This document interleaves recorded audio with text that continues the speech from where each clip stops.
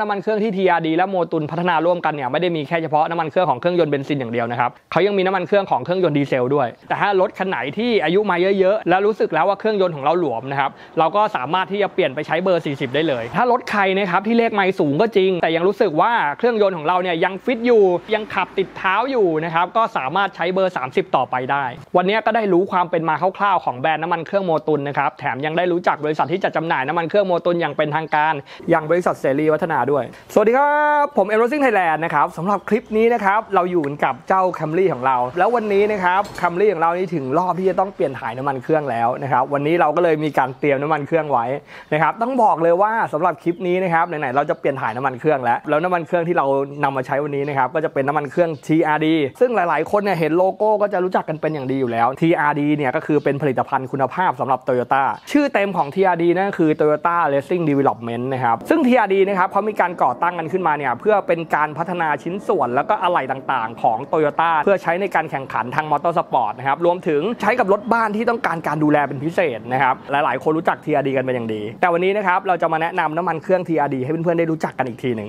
ช่วงนี้เนี่ยหลายๆ คนก็จะเห็นผมขับ Fortuner นะครับแล้วก็ r e v o นะจนมีคนเข้ามาคอมเมนต์ถามเลยว่า Camry ไปไหน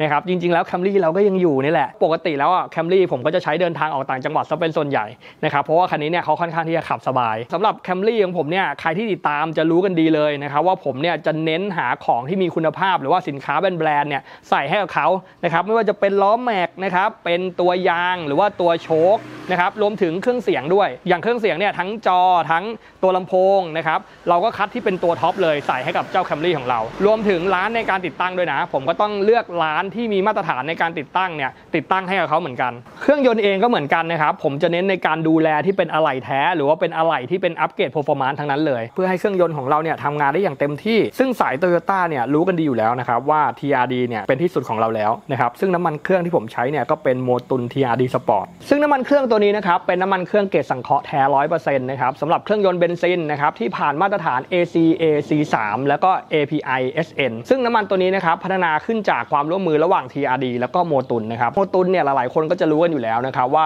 เขาเป็นผู้ผลิตน้ำมันหล่อลื่นสัญชาติฝรั่งเศสนะครับที่มีการก่อตั้งมาแล้วกว่า 170 ปี เขามีความเชี่ยวชาญนะครับแล้วก็เน้นในเรื่องของการผลิตน้ำมันหล่อลื่นประสิทธิภาพสูงโดยเฉพาะครอบคลุมทั้งรถยนต์รถมอเตอร์ไซค์นะครับสำหรับการแข่งขันแล้วก็การใช้ในชีวิตประจำวัน โดยโมตุน TRD Sport เป็นสูตรที่คิดค้นโดยเฉพาะสำหรับรถยนต์โตโยต้าด้วยเทคโนโลยีเฉพาะเพื่อปกป้องระบบควบคุมการปล่อยมลพิษ ช่วยประหยัดน้ำมันเชื้อเพลิง และเพิ่มการตอบสนองการขับขี่ให้ดียิ่งขึ้นทำให้ได้สมรรถนะสูง โดยได้รับการรับรองจาก Toyota Racing Development หรือ TRD มาเป็นที่เรียบร้อยทริคหลัก ๆ ที่ผมเลือกใช้น้ำมันเครื่องนะครับก็จะมีด้วยกันทั้งหมด 2 หัวข้อหลัก ๆ เลย ก็คือในเรื่องของความหนืดนะครับกับประเภทของน้ำมันเครื่องนะครับในเรื่องของความหนืดเนี่ยปัจจุบันเราจะเห็นเลยว่าความหนืดที่ใช้กันเป็นส่วนใหญ่นะครับในรถยนต์เนี่ยก็จะมีเบอร์ 30แล้วก็เบอร์ 40 แต่ถ้าเป็นรถอีโคคาร์นะครับเครื่องยนต์เล็กๆเนี่ยเขาจะมีเบอร์ 20 ด้วยนะครับส่วนถ้าเกิดว่าเป็นรถแข่งเลยนะครับจะมีเบอร์ 50 เบอร์ 60นะครับขึ้นอยู่กับการแต่งการ modify ของรถนั้นๆ ส่วนการเลือกความหนืดของรถบ้านทั่วไปนะครับดูง่ายๆเลยนะครับถ้ารถเลขไมล์น้อยๆนะครับรถยังมีความฟิตความ firm อยู่ ก็ให้ใช้น้ำมันเครื่องเบอร์ 30 ได้เลย แต่ถ้ารถคันไหนที่อายุมาเยอะๆ แล้วรู้สึกแล้วว่าเครื่องยนต์ของเราหลวมนะครับเราก็สามารถที่จะเปลี่ยนไปใช้เบอร์ 40 ได้เลย ถ้ารถใครนะครับที่เลขไมล์สูงก็จริง แต่ยังรู้สึกว่าเครื่องยนต์ของเราเนี่ยยังฟิตอยู่ยังขับติดเท้าอยู่นะครับก็สามารถใช้เบอร์ 30 ต่อไปได้ ส่วนในเรื่องของประเภทน้ำมันเครื่องนะครับปัจจุบันที่เราเห็นใช้กันเยอะๆเลย ก็จะมีกึ่งสังเคราะห์กับสังเคราะห์แท้ร้อยเปอร์เซ็นต์นะครับซึ่งน้ำมันทั้ง 2 ตัวนี้นะครับจะมีความแตกต่างกันอยู่ตรงที่ว่าน้ำมันสังเคราะห์แท้ร้อยเปอร์เซ็นต์นะครับจะมีสารสังเคราะห์หรือว่าที่เขาเรียกกันว่า additive นะครับใส่เพิ่มเข้าไป ซึ่งในตัว additive เนี่ยเขาจะช่วยเพิ่มประสิทธิภาพของตัวน้ำมันเครื่อง ให้สามารถที่จะปกป้องเครื่องยนต์ได้มากขึ้น หล่อลื่นได้ดีขึ้น รวมถึงช่วยคงสภาพให้ตัวน้ำมันมันเครื่องนะครับมีอายุการใช้งานที่ยาวนานมากขึ้น เราจะเห็นได้ว่าน้ำมันเครื่องสังเคราะห์แท้ร้อยเปอร์เซ็นต์ส่วนใหญ่จะมีรอบการเปลี่ยนถ่ายที่ยาวนานกว่า และหลายคนจะเข้าใจว่าน้ำมันเครื่องสังเคราะห์แท้ร้อยเปอร์เซ็นต์กับน้ำมันเครื่องกึ่งสังเคราะห์นะครับมีความต่างกันแค่อายุการใช้งานที่ยาวนานกว่าแค่นั้น แต่จริงๆแล้วไม่ใช่เลย เพราะว่าในเรื่องของการดูแลปกป้องเครื่องยนต์นะครับน้ำมันเครื่องสังเคราะห์แท้เนี่ยก็จะดูแลปกป้องเครื่องยนต์ได้มากกว่าด้วย เจ้า Camry ของเรานะครับถึงแม้ว่าเลขมาจะถึง 3 0 0แสนโลแล้วก็ตาม แต่ไม่ว่าจะเป็นผม หรือว่าเป็นช่างหรือว่าเป็นเพื่อนทุกคนที่เคยขับรถคันนี้นะครับจะบอกเลยว่าเครื่องยนต์ของเราเนี่ยยังสมบูรณ์อยู่ เราก็เลยใช้น้ำมันเครื่องเบอร์ 30 อยู่ ซึ่งน้ำมันเครื่องที่เราใช้นะครับจะเป็นโม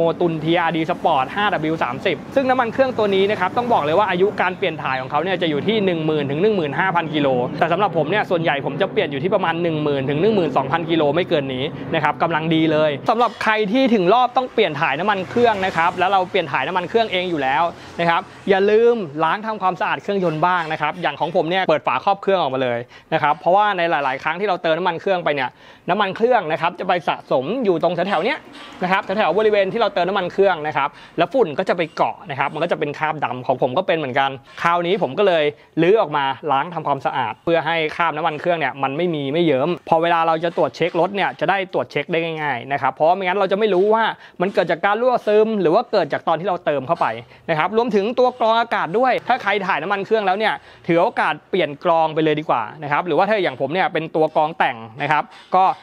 เอาไปล้างทำความสะอาด เพราะอย่างเงี้ยเราจะเห็นเลยว่ามันดำมากๆ เราก็ล้างทำความสะอาดก่อนใส่เข้าไป กรองน้ำมันเครื่องด้วยนะครับก็เลือกที่เป็นของแท้นะครับแล้วก็เลือกแบรนด์ที่ไว้ใจได้ด้วยนะครับทุกวันนี้นะครับจะซื้อของก็ต้องดูดีๆนะครับจะเลือกที่ราคาถูกอย่างเดียวก็ไม่ได้นะครับเพราะของปลอมระบาดเยอะมากๆ ตัวน้ำมันเครื่องโมตุน TRD Sport ก็เหมือนกันต้องดูให้ดีๆนะครับใครเป็นสายช่างหรือว่าอยู่ในวงการอะไหล่นะครับจะรู้จักบริษัทเสรีวัฒนาเป็นอย่างดี เพราะเขาเป็นผู้บุกเบิกอุตสาหกรรมผลิตอะไหล่รถยนต์ในประเทศไทยมาตั้งแต่ปี